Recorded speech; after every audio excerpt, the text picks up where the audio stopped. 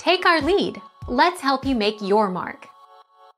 Our goal is your satisfaction. Let us show you the way. 5% might not seem very much, but it is all about blood concentration per liter. An average human being is getting intoxicated when 0.08% is reached, which only requires 3 standard drinks per hour. Most, full strength, beers are 4.8% this gives you a good gauge. Thank you for watching. Please subscribe and hit the bell notification.